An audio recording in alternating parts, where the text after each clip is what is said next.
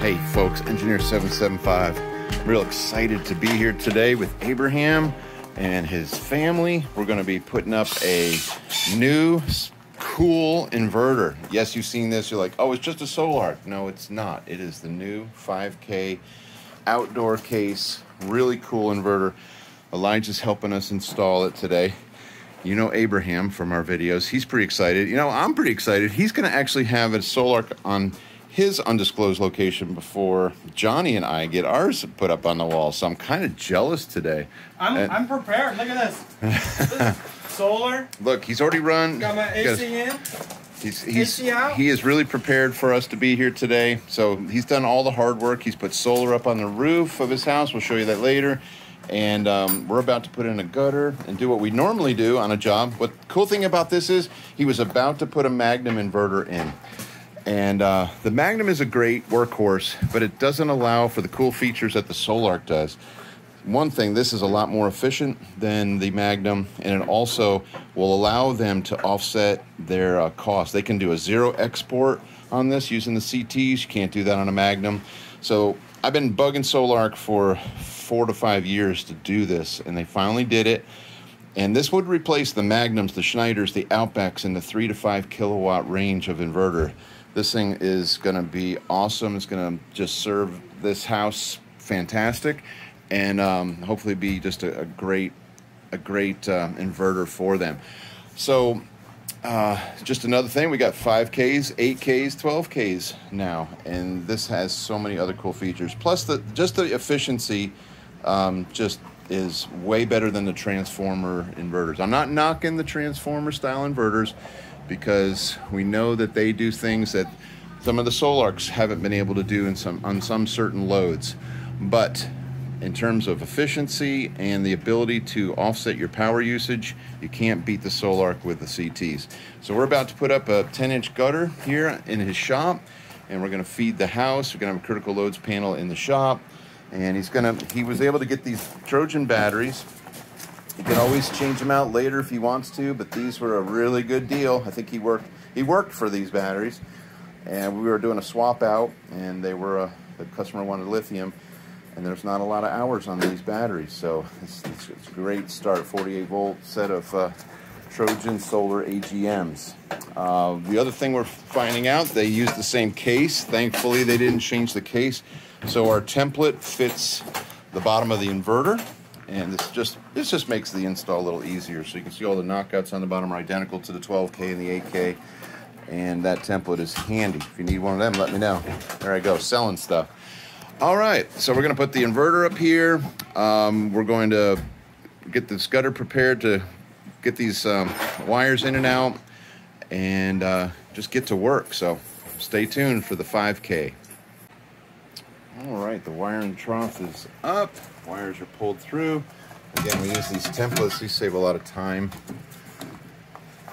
I got a buddy that laser cuts them. Buddy that laser cuts them for me. You just set it up there so you don't have to wrestle with the inverter till you need to put the inverter on the wall. So nice little tracing transfer template. And then these high-speed Milwaukee hole saws are just awesome. I don't know how many holes I've done with this thing, but these are great for just um, burning those holes and not uh, having to do knockouts. And they're fast.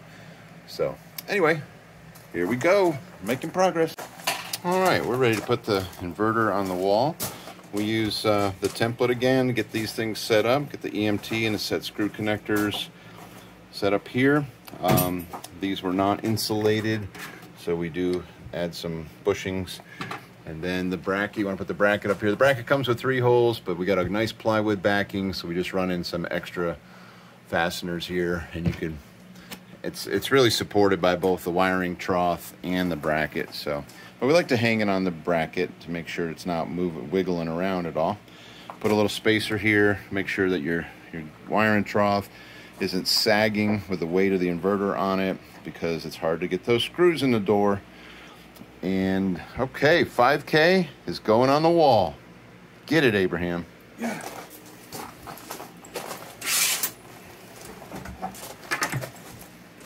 I'm supposed to be helping, but I'm filming. Come over to your right. Okay, let's open up this door.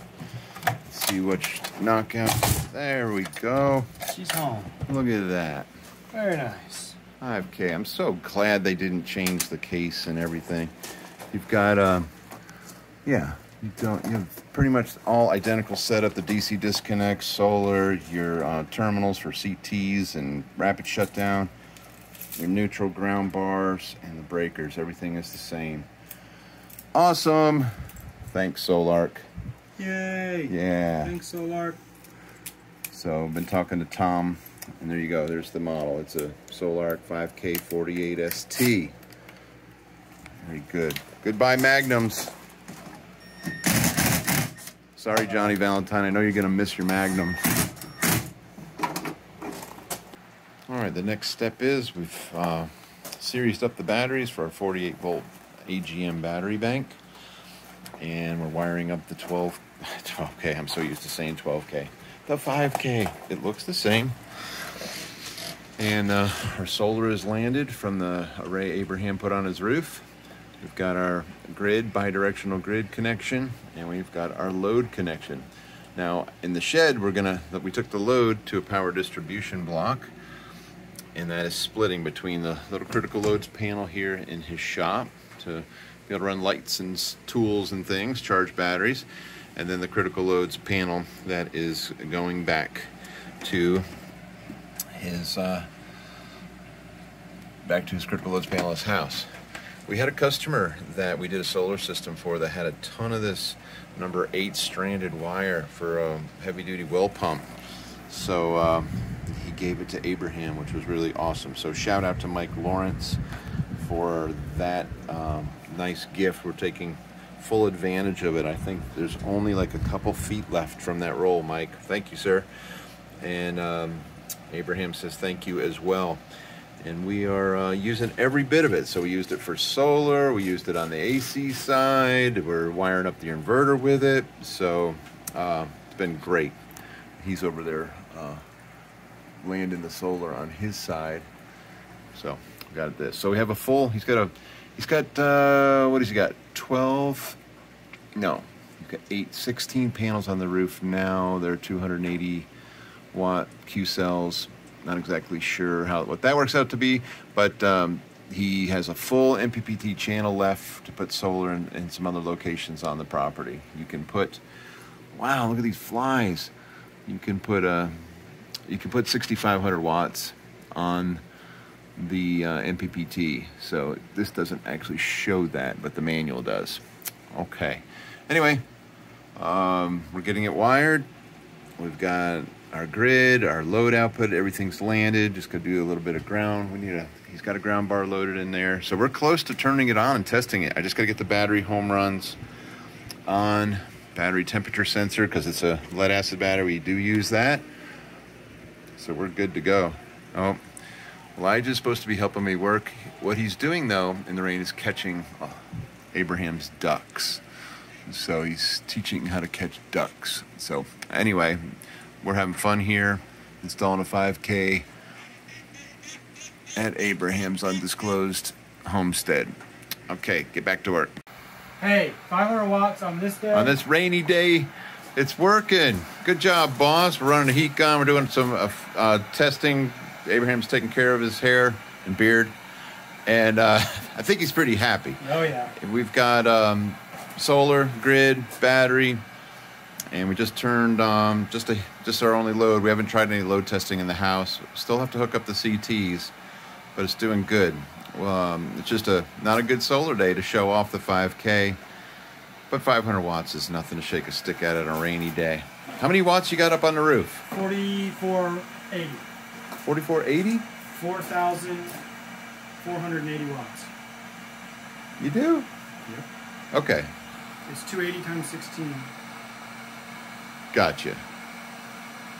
All right, we'll be back.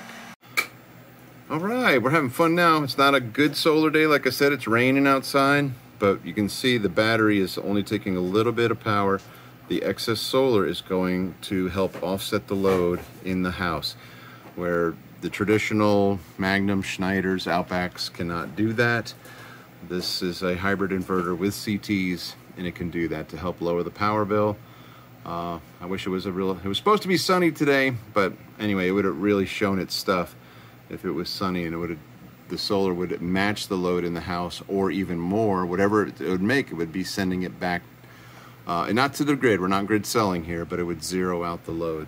So, whatever you want to call it. Sometimes this is called zero S export or offsetting, but it's working. And the CTs we just installed them and uh, there's a cool software add-on. I know I've shown this before, but in um, in the basic mode of the inverter, there is an auto detect CTs, and it can that's the bottom box, and it'll learn learn the CT, so you don't have to figure out uh, the orientation of the CT wires. It automatically figures it out. As long as you keep your pairs together, you're good. All right. Well, we have everything hooked to this inverter except for a generator and uh, so it's up and running looks nice we did a little test we were not able we had a baseline of about one kilowatt and we tried to run a 4500 watt water heater i think it'll do it but we'll have to do that test couldn't do it with a baseline of about a kilowatt going it, it gave me an ac overcurrent but uh, that's an ugly load electric water heater but we're going to try abraham will test that another day all right. That's pretty good for really a half a day's work. We've been piddling and testing. And, and uh, so, if we can help you at all and get you a 5K for your house or for a bug out location, a cabin, this is a, a great solution.